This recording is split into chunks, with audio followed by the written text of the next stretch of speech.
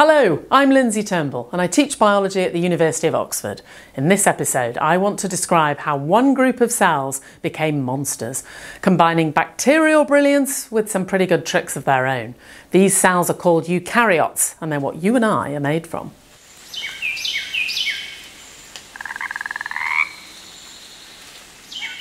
Once the microscope was invented, biologists quickly realised that there appeared to be two different types of cell. On the one hand, there were the bacteria, pretty difficult to see even with a light microscope because they're very small and they just have simple rigid shapes like rods or cylinders. On the other hand, there were the eukaryotes. These cells were much bigger, much easier to see under a light microscope, like these twirling paramecia. And inside, they appeared to be much more complicated as well. So if you looked under a higher magnification, you could see inside them. And they have this kind of grainy appearance. And that's because inside eukaryotic cells, there are internal membranes that make internal structures called organelles. And we'll look at those a bit later. So that seemed to make sense to scientists. Two kinds of cells, bacteria and eukaryotes. And in about the 1970s, biologists started to study cells in a different kind of way. So they started to sequence their genomes. And that means reading every letter in the book of instructions that all organisms carry. And then you can compare those letters to find out just how similar different organisms are. And when they did that for lots of different cell types, they found that there seemed to be a third type of cell hiding in plain sight. Now, scientists called this third group of cells archaea. They weren't new to science, people had found them already, but originally scientists thought that they were just another type of bacteria because they also had simple rigid shapes, just like bacteria, and they were similar size, very small cells, hard to see under a microscope. But what was unusual when looking at the genomes is it was very clear that they actually were very different.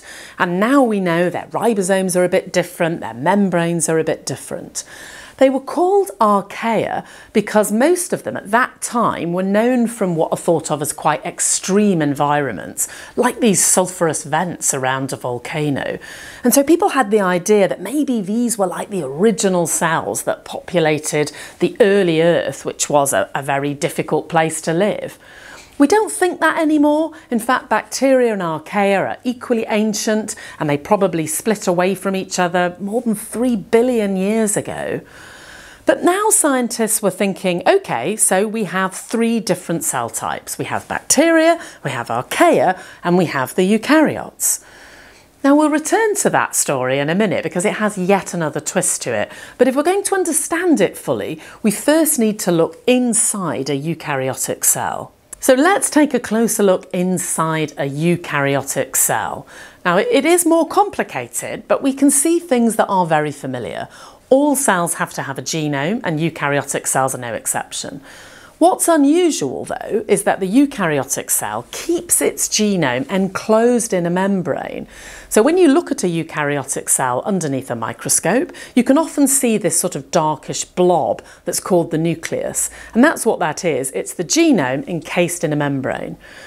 Now, of course, the genome's no use if messages can't fly out of it, so that membrane has to have little holes in it, and those are called pores. So you've got the nuclear pores that the messages fly out of.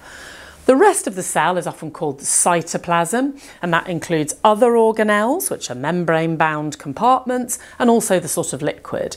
And floating around in the liquid part, there are, of course, the ribosomes. All cells have to have those, and they trap messages and they make the tools and the machinery and the spare parts that the cell needs, exactly the same as what's happening in the bacterial cell. But there are some structures that are unique to eukaryotes. So next to the nucleus, there's this sort of labyrinthine arrangement of membranes. It looks a bit like a maze and it's studded with dots and those dots are actually ribosomes. And then close to that, you've got a series of long sausage-shaped compartments. So the first thing is the endoplasmic reticulum and the second thing is the Golgi apparatus. And those things work together. The ribosomes feed in some of the proteins that they're making into the endoplasmic reticulum, and the proteins are finished there. Some proteins that eukaryotic cells make are very large, and it's difficult to get them to fold into the right shape. So that takes place inside the warehouse. And they also distribute the, these proteins to different parts of the cell. Some of them are targeted to different destinations and they're carried in tiny little membrane bound vesicles. Now, there are other organelles in the cell, and one of the prominent types of organelle is also a bit like a sort of sausage shaped thing, and they're called mitochondria. And those are the powerhouses of the eukaryotic cell. They have two membranes, an outer and an inner one, and the inner one is covered in these little turbines that recharge the ATP batteries that the cell needs. In a bacterial cell, those are in the bacterial outer membrane. So we have little structures called mitochondria that are recharging ATP batteries. They're about the same size and shape as a bacterium. And inside a mitochondria, it turns out, it also has its own small genome and it also has a few ribosomes of its own. So this is really quite a strange thing to have inside another cell. Well, one day, Lynn Margulis, a biological scientist, was peering at some cells and she had a bit of a brainwave. She thought maybe those mitochondria were bacteria once upon a time. In other words, a eukaryotic cell at some time in the past has engulfed a bacterial cell and then kind of domesticated it and kept it. And that's why it's about the same size and shape as a bacteria. That's why it has its own genome. That's why it has its own ribosomes. There wasn't really any other explanation that made sense. But then hang on a minute what kind of cell did the engulfing? In other words, what kind of cell was the ancestor of the eukaryotic cell? Well, once again, genome sequencing came to our rescue, and it turns out that the ancestor of the eukaryotic cell was an archaeal cell. And this meant that really we were back to only having two types of cell. There were bacterial cells and there were archaeal cells. And eukaryotes are just a special type of archaeal cell, one that has engulfed a bacterium. So eukaryotes are this kind of unlikely mashup between bacteria and archaea. But it still leaves us with a problem because we just have to understand how this event took place. How is it that a simple rigid cell with a rigid shape, i.e. an archaeal cell, was somehow able to engulf a bacterium millions of years ago? Well, to understand this problem a bit better, let's have a look at this enormous eukaryotic cell called amoeba, and we can see it moving around. Now, no bacterial or archaeal cell that we know about can move like this, they just have simple rigid shapes. And that's because they have an outer cell wall. But most eukaryotic cells ditch that wall and instead they're supported by an internal spider web of filaments called the cytoskeleton. And this allows them to do this kind of dynamic crawling. And an amoeba can engulf other cells, no problem. It can extend two of those kind of blobby arms and engulf it.